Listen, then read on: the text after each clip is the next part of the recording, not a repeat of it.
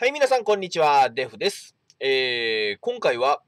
放置少女、副賞解説再録ということで、えー、神様ロマンス、ホレン氏の再評価、やっていきたいと思います。よろしくお願いします。はい、ということで、えーまず人物紹介から。目が覚めたら、周囲のすべてが巨大化し、自分が鼻の真ん中で眠っていた。夢かどうかわからないけど、優しいホレン氏は、相変わらず余裕なまま、今までと違う景色を眺め始めた。東郷と太陽のお花は最も美しいことだわ、ということで、えー、なんか目が覚めたら、周囲のものが巨大化してたらしいですね。で、自分が鼻の真ん中で、うん、なんか眠ってた。でも夢かどうかわからないけど、優しいホレン氏は余裕なまま、えーその景色を眺め始めたっていうことで、これ優しいは関係ないですよね、きっとね。うん、きっと、天然なんでしょう。うん、周囲が巨大化したのを、えー、ポカーンと眺めてただけと。はい、多分そんな感じですね。優しいホレン氏は余裕なままっていうのはきっと、ね。これ余裕っていうか、ただただ受け入れる余裕がなくて、ポカーンとしていたっていうのが眺めていたっていうお話なんじゃないでしょうか。はい、ということで、えーホレン氏は、えー陣営は5ですね。ホレン氏って5の人なんだね。うん、このゲーム始めるまであんまりホレン氏っていう名前を聞いたことがなかったんですけど、うん、5の武将でホレン氏っていたんですね。はい、ということで、ここから本番です。ということで、専属ステータス見ていきましょう。ホレン氏専属ステータス。体力がレベル ×35、攻撃力が14%、回避率がレベル ×140 ということで、うん、やっぱり SSR からの、まあ、昇格で、えー UR 戦アバター。ということで、まあ、専属ステータス、やっぱ体力レベル ×35 はちょっと低すぎますよね。うん、まあ仕方ないんですけど、まあ SSR だとやっぱこれぐらいの数値かなとはなっちゃいますよね。まあそのまま、えー強化されないまま、えー UR 戦アバターか、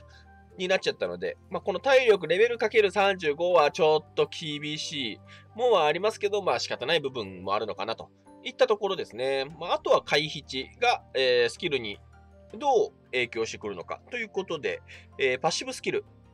攻撃力が42%、回避値がレベル ×280、最大 HP が42%、命中値がレベル ×240、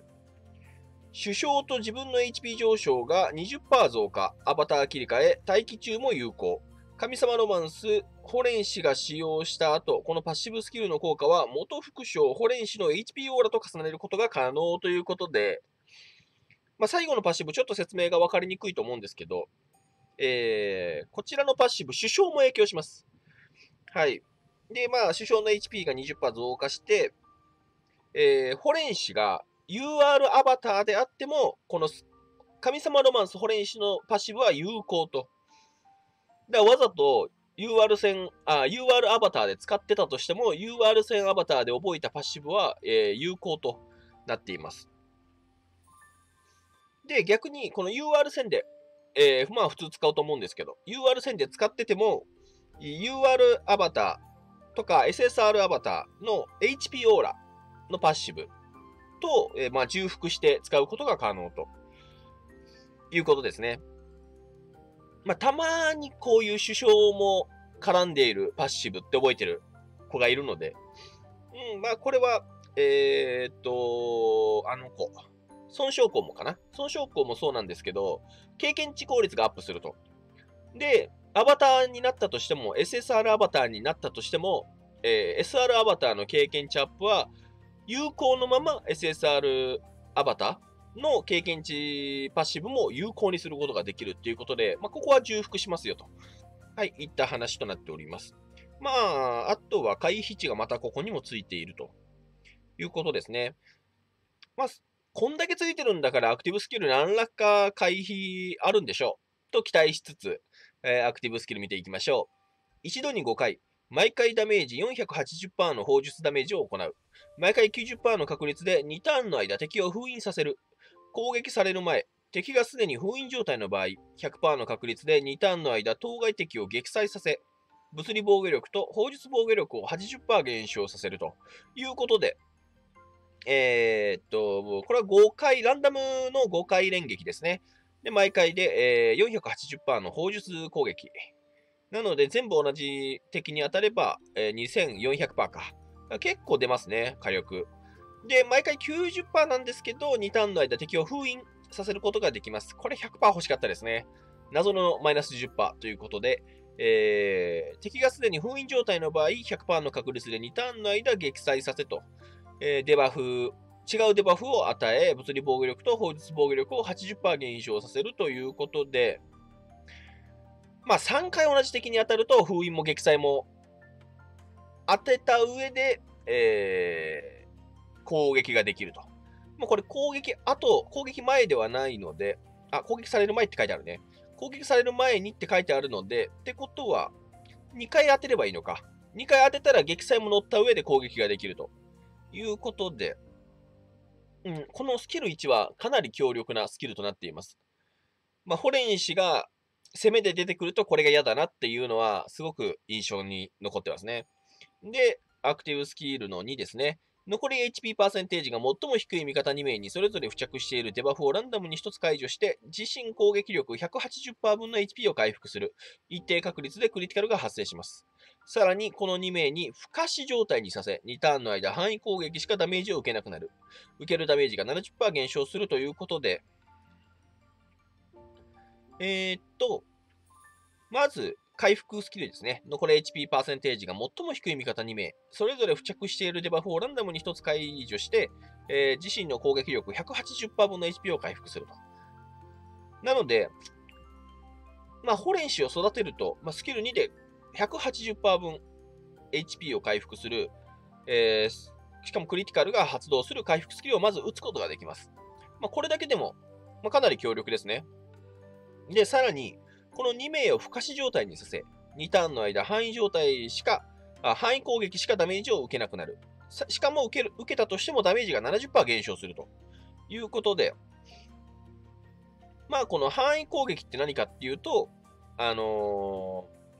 ー、一度に6体攻撃するスキルとか、まあ、4体攻撃するスキルのことを指します。なので、まあ、ホレンシでいうこのスキル1の、えー、5回連撃に関しては、まあ、不可相手が不可視であろうと通りますね。まあ、ただ、これはランダムなので、ちょっと狙って当てることは難しいと。あ、逆か。範囲攻撃しかダメージを受けなくなるので、逆にホレンシみたいな、えー、攻撃だと、受けてしまうんですよね。あ、受けなくなるんですよね。ランダム連撃だとダメージを受けなくなると。そういうことだね。だから逆に、えー、6体攻撃とか、4体攻撃とかの範囲攻撃を受けてしまうと。ただ、受けたとしても70%減なので、相当ダメージを、えー、マイナスにすることができますというスキルかな。うん、今ちょっと逆に言ってたね。うん。範囲攻撃を受けるスキル。範囲攻撃しか受けないってことか。うん。で、で、まあ、アクティブスキルを見て、まあ、残念なのが、やっぱりパッシブスキルの回避値は、これが全く有効活用されていないと。いうことですね。これで2枠死んでるんですよ。パッシブスキルと、えー、専属ステータス。で、回避値が2つついていたので、まあ、ここがどっちかが、知力だったり、うーん、あと貫通だったりとか、になってるとまたちょっと違ったかもしれないですね。はい、ということで、えー、右下に、えー、過去、僕が最、えー、過去に評価した、最初に評価した、えっと、動画のまあ、ホレンシアバーバーの評価が載っていますが、まあ、これに関しては、ホレンシアバーバーの、えー、と個人の評価となっていますので、まあ、今回は、まあ、タイプ別に評価をしているといった感じで、まあ、ちょっと違った評価になるかもしれないですね。はい、ということで、まずはタイプからいきましょう。まあ、ホレンシはまあ言わなくてもサポートアタッカーとなります。まあ、完全なサポートではなく、えー、攻撃もできるアタッカーとなっています。まあ、特に優秀なのが封印ですね。うん、封印されると相手は通常攻撃しか打てなくなるので、しかもこれが2ターンというね、2ターン相手の攻撃を遅らせることができたら、こっちの2ターンの間、スキル打ち放題なので、これかなり、えー、有利なデバフをつけることができると。まあ、ただ90%っていうね、この微妙なパーセンテージ。これちょっと信用できないんですよ。えっ、と、思想で、えー、耳飾りとか奥義で、まあ、多少なりとも軽減することができちゃうんですね。このパーセンテージっていうのは。まあ、100%でも、うん、85%とか80%ぐらいの信用率しかないないんじゃないかな。なので90%だともっと下がって7割とかになってきちゃうので、まあ、めちゃめちゃ奥義を持ってる人で。ってなってくると90%この10%痛いですね。もうこれ100%でも良かったんじゃないかとは思うんですが、まあ、ただこの封印は決まるとかなり強烈なので、うん。ということで、まあ、使うとすれば、まあ、誰かと編成、アタッカーと編成させて、そのアタッカーを守るための封印、えー、不可視ですね、を使って戦うといった形になると思います。しかも不可視を使って封印が入っていれば、範囲攻撃打てないですからね、相手ね。通常攻撃しか打てないので。ってなると、それすら回避、通常攻撃すら回避してしまうと。うん。ほんで、スキル2の後ですね、相手がスキルやっと打てるぞってなっても、連撃スキルだと当たらないと。範囲攻撃でも70%減ということで、うん、かなり強力なスキル構成となっています。で、まず戦場ですね。まあ、戦場に関しては、まあ、スキル2が攻撃できないというところもありますので、まあ、これはもう仕方ないでしょう。やっぱり両方攻撃してほしいですよね、戦場に、戦場戦役に立つからには。あ、ここじゃない。えーと、ここか。ということで、えー、戦場戦役は C とさせていただきます。そして、まあ、前回も C ですね、戦場に関しては。で、お城の攻めですね。お城の攻め B となっていますが、僕はこのサポートアタッカーとしての評価は A でいいと思います。うん。まあ、ホレンシ戦闘で、えー、と、封印を当てて、ホレンシの後ろにアタッカーを潜ませといて、そのアタッカーで叩いていくと。いった、まあ、強力な編成を作ることが、まあ、可能ですよね。うん。まあ、そういう強い編成を作り出せる、えー、数少ない一人いうことで、まあ、後ろの攻めに関しては A をつけさせていただきます。まあ、前回 B なのは、ホレンシ単体で攻めたときに、えー、どうなるかっていう評価で、まあ、やっぱスキル2が回復なので、まあ、ちょっともったいないかなっていうところで B か、まあ、これはプラス評価されて、プラス評価が表示されてないですけど、もしかしたら B プラスつけてたかもしれないですね。うん。まあ、ただ今回はサポートアタッカーとしての、えー、評価なので、まあ、それはもうお城の攻めは A でいいと思います。そして防衛ですね。防衛に関してはもう防止ということもあり、ちょっと防御パッシブもない。まあ、回避パッシブありますけど、これはもうレベル差でどうにでも覆ってしまう。部分ではありますので、えー、お城の防衛は、まあ、これは C でいいでしょう。まあ、前回も C 評価をつけていますね。そして闘技場ですね。まあ、闘技場に関しても、この封印に関してはすごく、えー、強いと思いますが、やっぱり封印をつけるからにはね、対人、えー、のコンテンツで、まあ、活躍が見込まれるんですけども、やっぱり90%っていうのと、ランダム連撃であると。いうことで、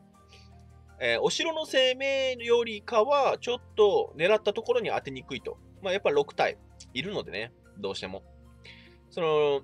ただでさえ6人殴れないランダム連撃が、1回でも同じ敵に当たっちゃうと、うん、全員を封印させる、全員っていうかまあ5体を封印させることができず、まあ撃砕ついちゃうと。まあ撃砕でもまあ構わないんですけど、どっちかっていうとやっぱ封印の方が強力なので、サポートアタッカーとしては。うん。なので、まあ、5体封印つけてくれることが、まあまあ、ベストなんですが、まあ、それがちょっとだけ確率落ちてしまうというところで、僕は闘技場、これ B、うーん、プラスぐらいでいいと思います。ちょ、ちょ、ちょ、ちょ、ちょ、ちょ、ちょ。はい。ということで、闘技場は B プラスつけておきます。うん、やっぱりお城の攻めよりはちょっと落ちると。うん、ランダム連撃で、まあ、全員に当たればいいですけど、まあ、それも当てにくいと。あと不安ですよね。毎回戦闘を行うたびに違ったやつを殴ってしまうので、えー、っと、まあ、なんて言えばいいんだろう。1回目殴った時と、また別の日に殴った時では、まあ、ホレン氏は別の動きをしちゃいますよね。ってなると、結果が変わってきちゃう。で、安定した、えー、戦果が出せる時もあるし、出せない時もあるっていう不安定さが、やっぱ闘技場ではちょっともったいないかなと思います。そしてボスですね。ボスに関してもスキル1はかなり強力だと思います。え、2400%か、全部当たれば。で、しかも撃砕もつく。で、封印もつくというところで、スキル1はかなり強力に作られていますが、まあ、スキル2ですよね。回復と、まあ、不可視。まあ、デバフ解除。なので、ちょっとここも攻撃できたらよかったんですけど、ちょっともったいないかなと思いますが、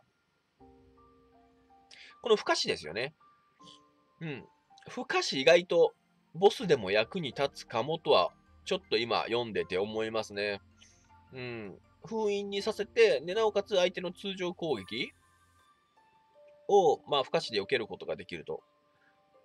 で、えー、封印が解けて範囲攻撃になっても不可視まだ一旦あるはずなので、まあ、そこでダメージを 70, 7割減価をすることができるんですが、まあメインで使うにはやっぱりスキル2が攻撃の方がいいので、まあ2000、ね、スキル1で2040%か、2040%打てるとはいえ、ちょっともったいないかなといったところで、まあ、前回ボス C 評価してますけど、僕、ここちょっと上げて B 評価でいいんじゃないかなと思います。ここは純粋に、もうサポートアタックかどうこうじゃなくて、ホレン氏のスペックですね。ホレン氏個人のスペックで、ここは高くちょっと上げてもいいかなと思いました。情報修正ですね、これに関しては。で、短期特化のなんですが、やっぱりちょっと戦場が死んでいると。うん、ランダム連撃で敵4体と戦うときに、どうしても、まあ、不安定さが出てしまうっていうのと、まあ、封印はいらないですよね、戦場で。で、撃砕がやっぱ欲しいんですけど、1回封印つけなきゃ撃砕つけられないというところで、マックスついても2体かな ?2 回攻撃しないとダメなので。なんとなると、やっぱりちょっと不安定さがとてつもないのと、連撃ってやっぱ時間食うので、戦場戦、えー、戦役に関しては。で、スキル2が攻撃できないというところでもう、限りなく C 評価。もう低い評価ですね。ってなってしまってるので、僕が短期特化でえー、重要視する点はいつも言いますが、戦場戦役とボスですね。まあ、対人関係は、まあお、おまけみたいなもんなんですが、僕の中で。でも対人もまあ高い方がいいよねっていうところですよね。ってところで、えー、短期特化度は、えー、前回も C をつけていますが、今回は、えー、っと、ここか。はい、今回も C とさせていただきます。やっぱり戦場戦役が低いということはレベルが上がりにくい。で、ボスも抜きにくいということで、うん、強さに直結するレベルが上がりにくいのはちょっといただけないかなといったところになりますね。まあ、あと帽子というところで、やっぱり最初にとって特化してほしいのは武将かなと僕は思います。うん。まあ、イラストのね、可愛さで、えっ、ー、と、まあ、いろんなキャラクターがいいよ、あ、いいってなると思うんですよ。まあ、それはそれで愛を持って育てていただければいいんですが、まあ、難解な壁が立ち塞がってますよ、といったところになりますね。僕は、えー、武将をお勧めしています。はい、ということで、まあ、今回、えー、ホレンシアバーバーの再評価はこのようになりました。えー、チャンネルの登録、Twitter のフォローなど、ぜひよろしくお願いします。はい、ということで、ここまでお送りしたのはデフでした。おつデフ